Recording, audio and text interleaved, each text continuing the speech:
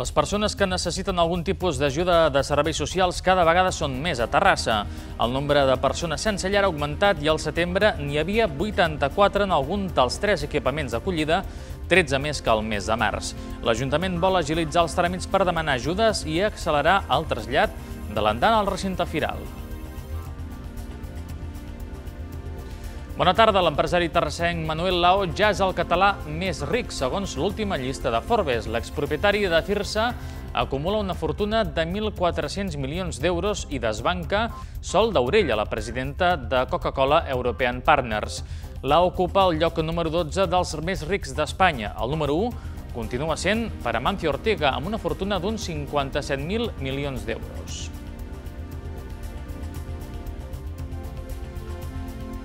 La divisió d'honor masculina i femenina de waterpolo i les competicions estatals de natació continuaran disputant-se després de l'acord al qual han arribat els clubs esportius amb la Federació Espanyola de Natació.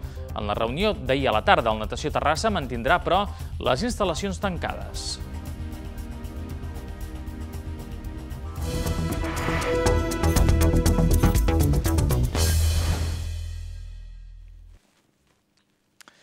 La pandèmia de Covid-19 ha generat una crisi sanitària i econòmica que ha fet que moltes persones hagin hagut de demanar ajuda a serveis socials per poder subsistir.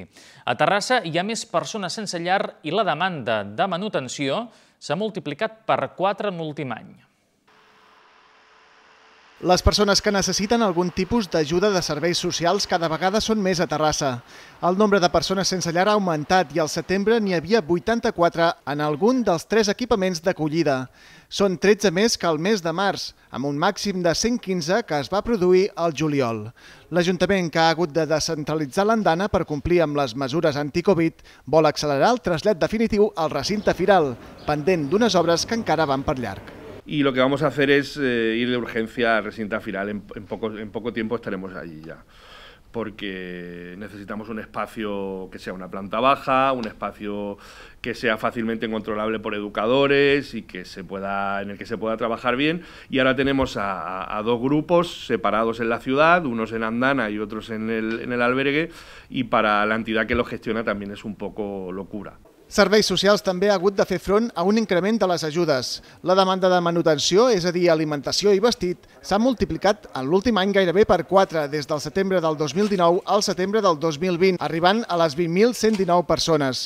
Els ajuts d'habitatge s'han duplicat i els beneficiaris del rebost ja en són més de 6.000, un 150% més que fa un any. L'Ajuntament garanteix totes aquestes ajudes, tot i l'important increment dels darrers mesos por suerte o por desgracia, el Rebost y sus entidades eh, se dimensionaron en la anterior crisis y por suerte o por desgracia también eh, tenemos la capacidad de afrontar todo este, aumento que ha sido casi de un 40% en algunos meses eh, en familias que necesitaban un lote de comida. Si no hay lotes de comida, se harán las transferencias necesarias desde cualquier otra partida para que esto no falte nunca. Serveis Socials està treballant per agilitzar i simplificar els tràmits per demanar una ajuda i fer-ho de manera telemàtica sempre que sigui possible. Els desnonaments de persones o famílies en situació de vulnerabilitat quedaran suspesos si els habitatges són propietat de grans tenidors o entitats bancàries fins que aquests ofereixin un lloguer social als afectats. Així ho diu un decret aprovat pel govern català que conté d'altres supòsits i que serà vigent mentre duri l'estat d'alarma. S'entén per vulnerables les famílies que ho hagin acreditat abans de la pandèmia de la Covid-19, les que ocupen un pis d'abans del juny del 2019 sense títol habilitat, l'extinció del contracte amb un gran tenidor i també les persones amb dificultat per pagar quotes hipotecàries. En cas que Mossos o policies locals els reclamin mesures cautelars de desocupació de famílies amb risc d'exclusió, hauran de sol·licitar un informe urgent als serveis socials i comunicar la petició al Ministeri Fiscal.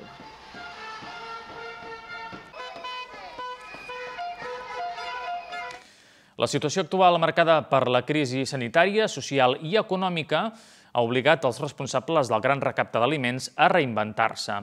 Enguany, la cita arriba al penúltim divendres i dissabte d'aquest mes i no recollirà aliments físicament, sinó a través de donatius econòmics.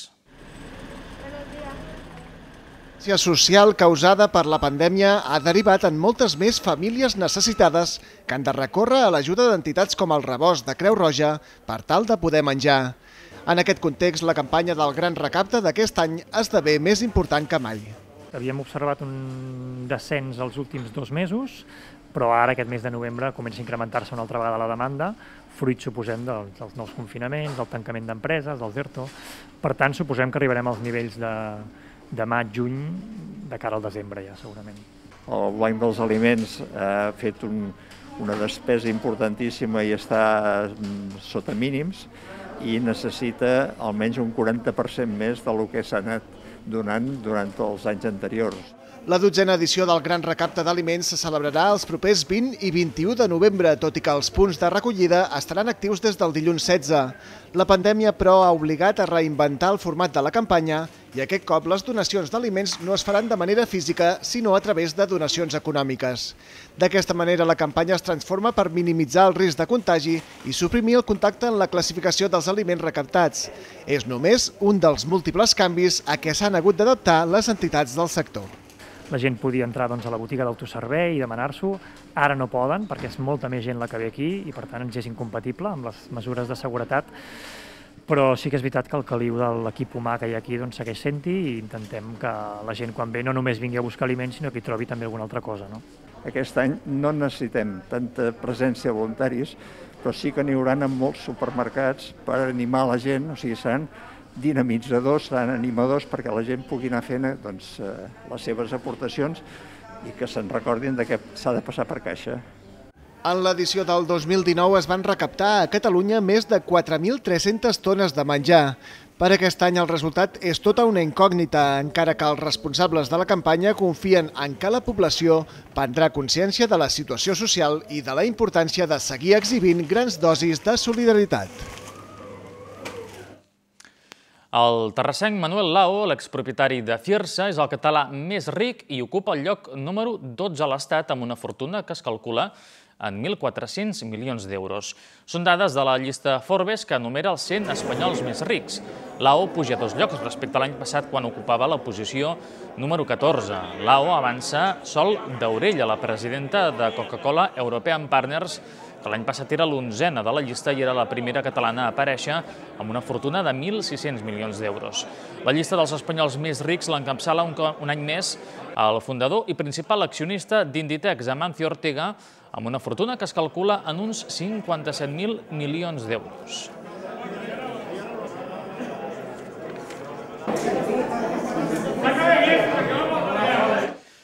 El Centre Cívic Montserrat Roig acull avui una nova campanya de donació de sang i medul·la òssia. La campanya es desenvolupa de 10 a 2 i de dos quarts de 6 de la tarda a 9 del vespre. Per participar-hi cal demanar cita a través d'internet. Per registrar-se com a donant de medul·la òssia només s'ha d'emplenar un formulari i en el mateix moment de la donació de sang s'extreu una mostra que serveix per analitzar l'H i l'A, un grup de proteïnes que permet saber la compatibilitat entre dues persones.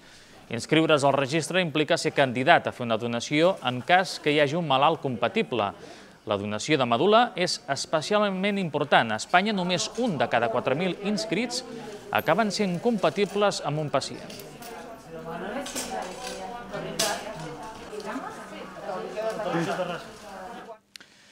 L'Ajuntament de Terrassa ha implementat un seguit de mesures urgents valorades en 1,4 milions d'euros per a millorar la neteja dels carrers. Algunes d'aquestes accions consisteixen en el reforç de la plantilla, l'adquisició de quatre vehicles i càmeres per a vigilar els punts negres.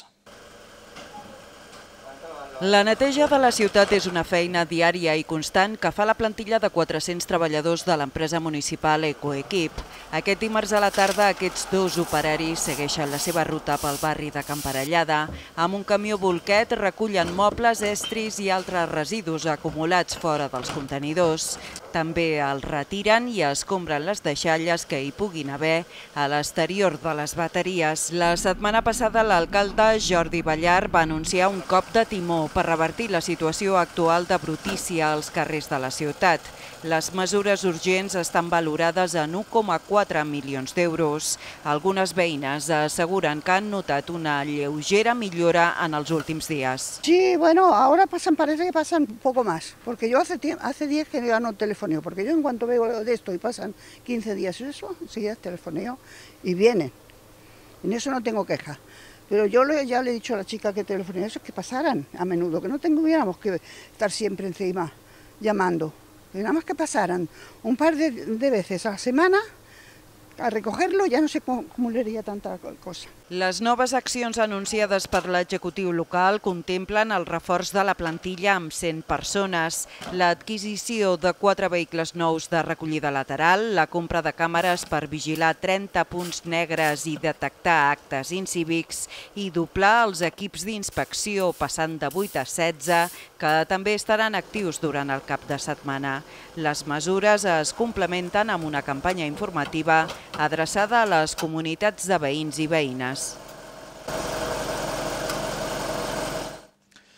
El passeig 22 de juliol es queda sense un edifici emblemàtic. Aquests dies s'ha enderrocat el que fa uns anys va ser una de les discoteques més conegudes de la ciutat, la discoteca Màxim, que va funcionar més de dues dècades entre el 1979 i el 2005. Ara aquest espai l'ocuparà una promoció d'habitatges. Pel màxim hi van passar diversos DJs, com per exemple Lluís Romera, quan la sala va viure el seu moment, seu moment d'esplendor als anys 80 i 90.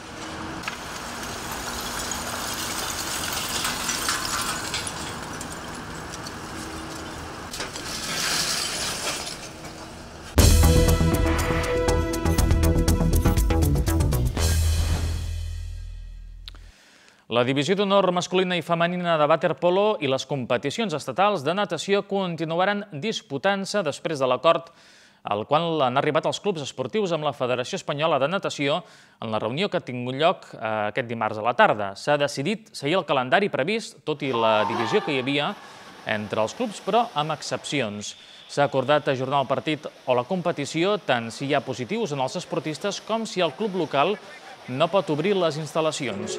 En el cas del Natació Terrassa, el seu president, Jordi Martín, ha assenyalat que mantindran les instal·lacions tancades, ja que hi ha un ERTO pràcticament al 100% de la plantilla, per la qual cosa queda ajornat el partit de dissabte de la divisió d'honor femenina contra el Sant Andreu. L'equip masculí s'ha de desplaçar a Barcelona per jugar contra el Mediterrani, però tot apunta a que també s'ajornarà.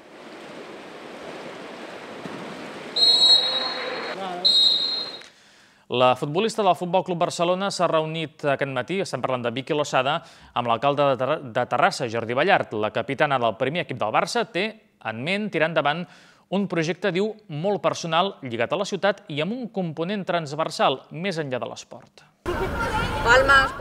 Vicky Losada és des de fa temps l'ambaixadora per excel·lència del futbol femení a la ciutat.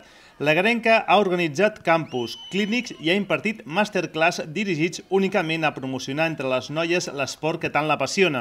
La seva implicació, sens dubte, ha ajudat a que Terrassa superi quasi tres vegades la mitjana espanyola en nombre de fitxes federades, sent una clara exponent del fort creixement del futbol femení. Aquest cop la capitana del Futbol Club Barcelona vol fer un pas més i tirar endavant un projecte molt personal a la ciutat. Aquest dimecres l'alcalde Jordi Ballar i el regidor d'Esports Miguel Ángel Moreno han conegut els serreis de la nova iniciativa de l'Osada.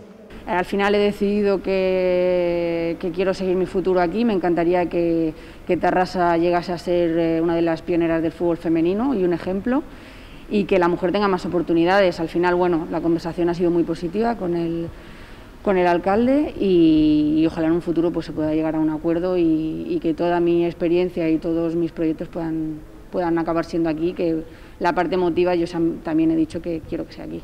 El projecte encara s'ha de perfilar, però la futbolista terrassenca té clar que ha de perdurar en el temps i ha de ser transversal, anant més enllà de la vessant esportiva. Quiero cambiar un poco la mentalidad, la cultura en la sociedad, de que el deporte se relacione con la educación, con los valores, que no sea, no, por ejemplo, a lo mejor pues los padres quieren que sus hijos eh, sean futbolistas para que el niño o la niña deje de estudiar, creo que quiero cambiar esa mentalidad de que el deporte de oportunidades y relacionar educación con, con fútbol en mi caso. L'Ossada no és aliena a la situació sanitària. De fet, ha vist com els dos propers compromisos de Lliga que havia d'afrontar el Barça s'han suspès. El d'aquest dimecres a la ciutat esportiva contra el Rayo Vallecano i el que havia de jugar diumenge al camp del Llevant pels casos de Covid dels seus rivals. Nos están cancelando partidos, al final hay que adaptarse, va a ser un año muy complicado y, y, y creo que es una pena porque el crecimiento del fútbol femenino eh, estaba avanzando rápido, pero hay que reinventarse y, como digo, adaptarse y seguir hacia adelante. Quan decideixi retirar-se de l'elit del futbol, l'Ossada sap que té un lloc a la seva ciutat natal. El trail running no s'atura per la Covid-19 amb la primera edició de la Copa Despertares. Es tracta d'una lliga de tres curses de muntanya pel terme municipal de Terrassa durant els mesos de novembre, desembre i gener i que es podrà córrer a través de l'aplicació Open Trail Races. Les restriccions que està patint l'esport català està provocant que moltes entitats, clubs i empreses s'hagin de reinventar per seguir promocionant l'activitat esportiva. En el món de les curses atlètiques, molts organitzadors han apostat pel format virtual com a única opció davant l'actual situació d'incertesa per la pandèmia. Rolf Goat, fundadora de la Gara Week Race de la passada Festa Major de Terrassa Confinada, posa en marxa la versió d'hivern amb la primera edició de la Copa Despertares amb la col·laboració del Centre Excursionista de Terrassa.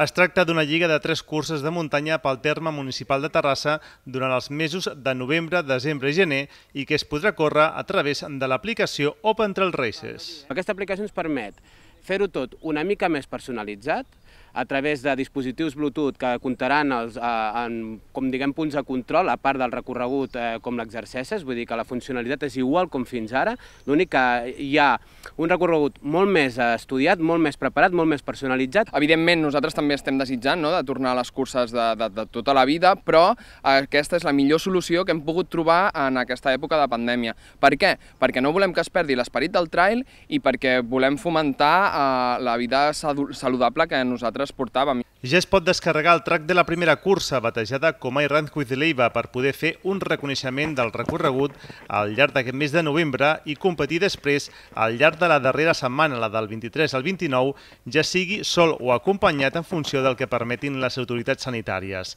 Hi ha dues distàncies, 5 quilòmetres i 650 metres amb un desnivell positiu de 167 metres i una altra d'11 quilòmetres i 600 metres amb desnivell de poc més de 300 metres, que transcorreran al voltant del llac Petit. Els organitzadors fan una crida als aficionats del trail perquè confien en que es podrà tirar endavant. La cursa en si no perilla a no ser que ens confinin a tots tancats a casa mentre no hi hagi aquest eh, element similar a març, és impossible que la, la cursa es pugui anul·lar.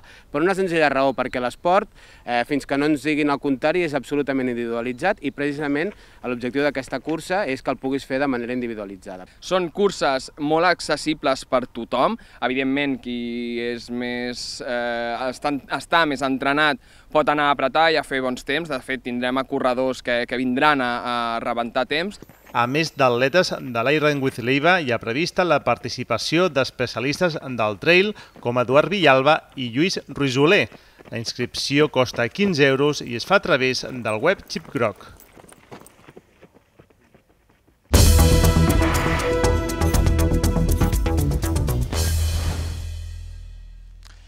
La cantautora i pianista terrassenca Gemma Humet celebra 10 anys de carrera amb el seu tercer àlbum. Porta com a títol Màtria i és un cant a la feminitat amb textures electròniques, tal com defineix la mateixa artista. El treball suposa un salt endavant en la intensa carrera musical d'Homet.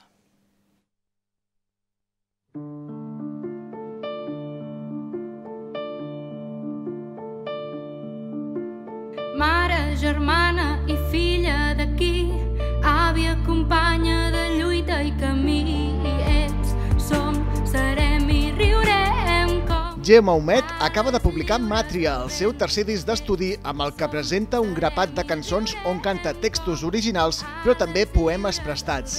Inclou textos de poeteses contemporànies com Maria Mercè Marçal, Estel Soler, Sònia Moll, Mireia Calafell i Roc Casagran. A banda també hi ha una lletra escrita pel seu oncle Joan Baptista Humet, de la qual no s'ha trobat la música original. Aquest treball, tal i com suggereix el títol, és un cant a la feminitat i a la maternitat i que té en la protesta i en la política un fil conductor comú. Fem nostra la nit, conquerim el carrer i. Vull, soc i veig, dic i faig, escollo i ric. D'altra banda, a Màtria, la música terrassenca explora noves sonoritats, s'aventura en textures electròniques que en cap moment ofeguen la lírica característica d'Homet. Tot plegat ho ha aconseguit amb el suport de Jordi Casadesús a la producció.